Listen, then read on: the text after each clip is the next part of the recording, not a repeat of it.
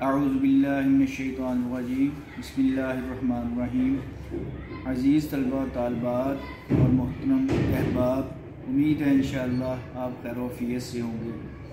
16 दिसंबर का दिन जब भी आता है तो हमारे लिए एक नहायत अफसोस और करब का दिन ये होता है। उन्नीस को पाकिस्तान बना। और 1971 को पाकिस्तान दो हिस्सों में तकसीम हो गया। यकीनन, पाकिस्तान का दो हिस्सों में तकसीम होना एक अजीम सानिया है। क़्यामत सुगरा है। लेकिन इससे भी बड़ा सानिया ये है कि हम अपनी नई नस्ल को ये ना बता सके, उनके जहनों में ये बात ना डाल सके, उनके जहनों में हम ये बात रजिस्टर ना करवा सके कि पाकिस्तान जो है वो क्यों दो हिस्सों में तकसीम हो गया और क्या वजूहत थी जिनकी वजह से ये मामला जो है वो बना। यकीनन इसमें हमारे दुश्मनों की साजिशें शामिल हैं, लेकिन इसमें हमारे जो अपने हैं, उनका भी बहुत कसूर है। हमने सारा ज़ोर जो है वो सरहदों पे दिया, लेकिन हम अपनी नज़रियाती सरहदों की हिफाजत ना कर सके। और उन 25 साल में भी हम अपनी नस्ल को ये ना बता सके कि ये मामला जो हैं वो क्यों पेश आए।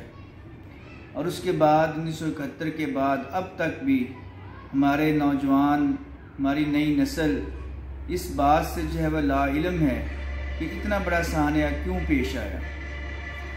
वो मुल्क जो कलमे की बुनियाद पे बना, ला इलाहा इल्लल्लाह वो चंद साल की साजिशों और दुश्मन की चंद साल की सही के बाद, कोशिश के बाद दो हिस्सों में तकसीम हो गया।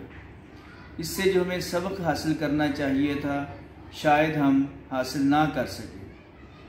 अब भी जो मामलात हैं, अब भी जो मसाइल हैं, और इन चीज़ों को जो मीडिया हमारे बच्चों को दिखाता है, उसमें ये कहीं इस बात का ज़िक्र नहीं आता कि जो हमारी नज़रियाती सरहदें हैं और जो हमारा कलमा है, जिसकी वजह से ये मुल्क कायम हुआ और इसी की वजह से मुल्क ये कायम रह सकता है, इस पे जो है वो ज़ोर दिया जाए। ये दुनिया ने देख लिया, रूस एक बहुत बड़ा मुल्क था और उसके पास पैसा भी बहुत था, लेकिन आपस में वो इकट्ठे ना रह सके। और हमें भी इस बात पे जो है वो सोचना होगा ये जो बचा खुचा पाकिस्तान है, किस तरीके से जो है वह इसकाम की तरफ़ जो है वो जा सकता है? किस तरीके से और मज़बूत हो सकता है?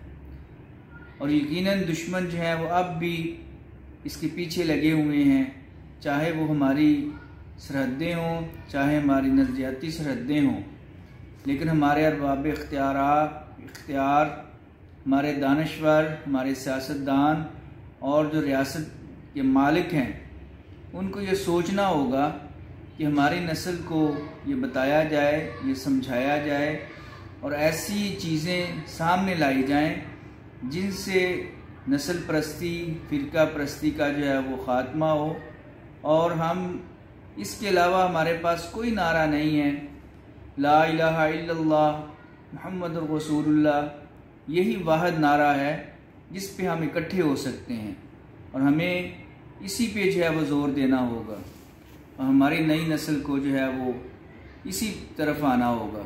और मैं अपने मज़द साजा कराम और दूसरे पढ़े लिखे लोग, दानश्वर लोग, उनसे मैं दरख्वास्त करूँगा कि हमें ये सबक जो है वो बच्चों को देना होगा। अल्लाह ताला से दुआ है कि ये 16 दिसंबर का जो सानिया उन्नीस सौ इकहत्तर में पेश आया हमें इससे सबक सीखने की जो है वो अल्लाह ताला तौफीक दें और पाकिस्तान क़्यामत तक जो है वो कायम रहे।